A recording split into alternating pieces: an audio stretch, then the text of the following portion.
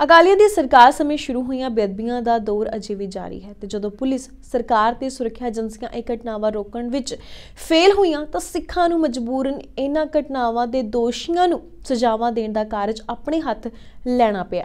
ਤਾਜ਼ਾ ਖਬਰ ਫਗਵਾੜਾ ਤੋਂ ਹੈ, ਜਿੱਥੇ ਗੁਰਦੁਆਰਾ ਸਾਹਿਬ ਦੇ ਵਿੱਚ ਇੱਕ ਨੌਜਵਾਨ ਦਾ ਨਿਹੰਗ ਸਿੰਘ ਵੱਲੋਂ ਸੌਦਾ ਲਗਾ ਦਿੱਤਾ ਗਿਆ।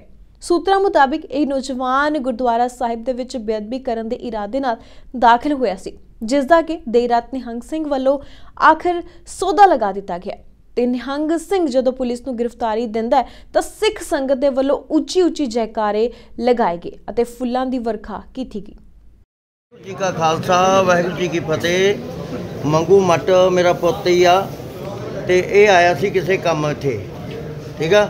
ਇਹ ਰਾਤ ਉਰੇ ਰੁਕ ਗਿਆ। ਹਨੇਰਾ ਹੋ ਗਿਆ ਹੁਣ, ਗੁਰਦੁਆਰੇ ਰੁਕ ਗਿਆ। ਤੇ ਜਦੋਂ ਉਹ ਬੰਦਾ ਆਇਆ ਬੇਅਦਬੀ ਕਰਨ ਬੇਅਦਬੀ ਕਰਨ ਆਇਆ, ਇਹਨੇ ਪੁੱਛਿਆ ਉਹਨੂੰ ਵੀ ਭਾਈ ਤੂੰ ਕੀ ਚੱਕਰ ਆ, ਕਿਵੇਂ ਆ? ਕਹਿੰਦਾ ਵੀ ਮੈਨੂੰ ਪੈਸੇ ਦਿੱਤੇ ਗਏ ਆ 3-4000 ਰੁਪਈਆ। ਠੀਕ ਆ? ਫਿਰ ਇਹਨੇ ਪਿਆਰ ਨਾਲ ਕਈ ਵਾਰ ਪੁੱਛਿਆ ਵੀ ਉਹਨੂੰ ਭਾਈ ਤੂੰ ਦੱਸ ਦੇ, ਉਹਦਾ ਨਾਂ ਦੱਸ, ਬੰਦੇ ਦਾ ਨਹੀਂ ਦੱਸ। ਇਹ ਬੰਦਾ ਇਹੀ ਕਹੀ ਗਿਆ, ਤੁਹਾਡੀ ਬਾਣੀ ਗਲਤ ਆ, ਸਾਡੀ ਬਾਣੀ ਠੀਕ ਆ, ਤੁਹਾਡੀ ਬਾਣੀ ਗਲਤ ਆ, ਸਾਡੀ ਬਾਣੀ ਸਹੀ ਆ। ਜਦ ਕਿ ਗੁਰੂ ਗ੍ਰੰਥ ਸਾਹਿਬ ਜੀ ਨੂੰ ਗਲਤ ਕਹਿੰਦਾ ਸੀਗਾ। ਜਦੋਂ ਗੁਰੂ ਗ੍ਰੰਥ ਸਾਹਿਬ ਜੀ ਨੂੰ ਗਲਤ ਕਹਿੰਦਾ ਸੀ, ਉਹਨੂੰ ਗੁੱਸਾ ਚੜਿਆ ਕਿਆ ਨੈਚੁਰਲੀ ਹੈ ਜੇ ਕਿਸੇ ਦੇ ਧਰਮ ਨੂੰ ਕੋਈ ਗਲਤ ਕਹੂਗਾ, ਉਹ ਮੂੰਹ ਤੇ ਹੀ ਗਲਤ ਬੋਲਣ ਲੱਗ ਗਿਆ ਜਦੋਂ ਗਲਤ ਬੋਲਣ ਲੱਗ ਗਿਆ ਉਹਨੂੰ ਗੁੱਸਾ ਚੜ ਗਿਆ। ਠੀਕ ਹੈ ਕਿ ਨਹੀਂ?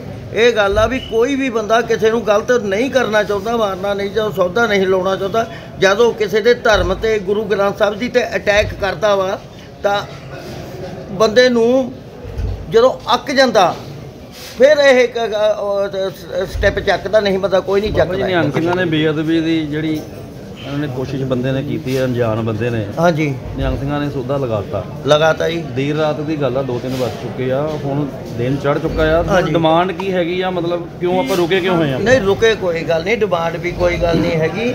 ਅਸੀਂ ਇਹ ਕਹਿੰਦੇ ਆ ਵੀ ਸਚਾਈ ਲੋਕਾਂ ਨੂੰ ਪਤਾ ਲੱਗੇ।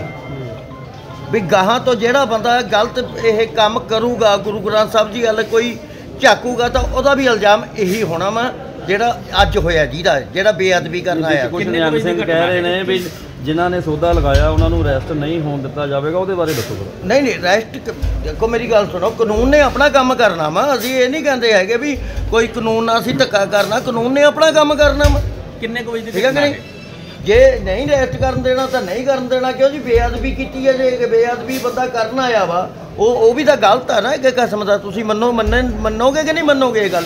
ਕੋਈ ਵੀ ਬੰਦਾ ਗੱਲ ਮੰਨੂ, ਜੇ ਕਿਸੇ ਦੇ ਧਰਮ ਤੇ ਕੋਈ ਅਟੈਕ ਕਰਦਾ ਵਾ, ਇਹ ਸੈਲਫ ਡਿਫੈਂਸ ਆ ਜੀ। ਇਹ ਕਿਸੇ ਇਹ ਹੱਤਿਆ ਨਹੀਂ ਮੰਨੀ ਜਾਣੀ ਹੈਗੀ।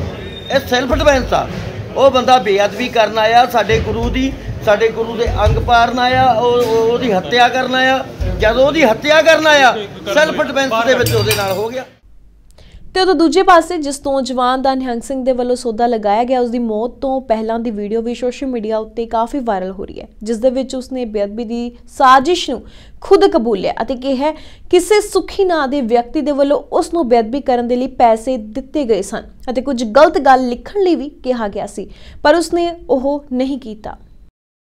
ਅਜੀ ਸੁਖੀ ਨੇ ਮੈਨੂੰ ਇਹ ਕਿਹਾ ਸੀਗਾ ਸੁਖੀ ਤੱਕ ਤੁਸੀਂ ਸੀਗੇ? ਸੁਖੀ ਤੇ ਮੈਨੂੰ ਇਹ ਕਿਹਾ ਸੀਗਾ ਕਿ ਬਾਅਦ ਚ ਜਾਕੇ ਜੋ ਕਰੇਗਾ ਆਪਣੇ ਲਈ ਕਰੇਗਾ ਜੋ ਜੋ ਜਾਨ ਬਚਾਏਗਾ ਆਪਣੀ ਬਚਾਏਗਾ ਹੂੰ ਜੋ ਜਾਨ ਬਚਾਏਗਾ ਤੁਹਾਡੇ ਤੋਂ ਆਪ- ਆਪਣੀ ਬਚਾਏਗਾ ਵੀ ਪੈਸੇ ਤੈਨੂੰ ਮੈਂ ਪੈਸੇ ਦੇਣੇ ਸੁੱਖੀ ਨੇ ਆਹੋ ਕਿੰਨੇ ਪੈਸੇ ਕੀਤੇ ਸੁੱਖੀ ਨਾਲ ਦੋ ਸੌ- ਚਾਰ ਸੌ- ਦੋ ਤਿੰਨ ਹਜ਼ਾਰ ਰੁਪਇਆ ਸੀਗਾ 2-3000 ਦੋ ਤਿੰਨ ਹਜ਼ਾਰ ਹੂੰ ਤੇ ਕੀ ਕਰਨਾ ਕੀ ਕੀ ਕਿਹਾ ਸੁੱਖੀ ਨੇ ਕੀ ਕਰਨਾ ਉੱਤੇ ਜਾ ਕੇ ਉੱਥੇ ਜਾ ਕੇ ਬੈਠੀ ਔਰ ਇਹ ਸਭ ਫਲਾਣਾ ਪੁੱਠਾ ਪੁੱਠਾ ਸਿੱਧਾ ਕਰਨ ਨੂੰ ਕਿਹਾ ਸੀਗਾ ਲੇਕਿਨ ਕੀਤਾ ਨਹੀਂ ਭਾਜੀ ਮੈਂ ਇਹ ਹੈ।